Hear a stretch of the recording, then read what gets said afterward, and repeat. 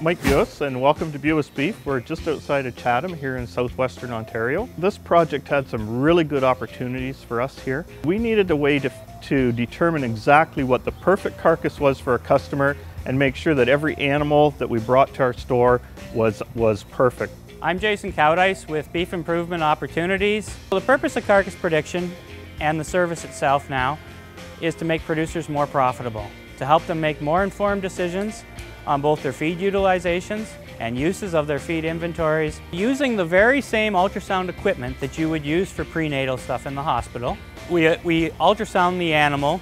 We also then have a computer model and that model then predicts based on the market you sell your animal into what the optimal day to harvest that animal would be. It made it a lot easier to sort cattle because we had a really good idea um, what the animal looked like under the hide, hence the name of the project. So if we can save one day's worth of feed on these animals, we've paid for the ultrasounding. It's very cost effective and the, at the end of the day, it all comes down to dollars. So ultrasounding is a tool that can be used by all beef producers.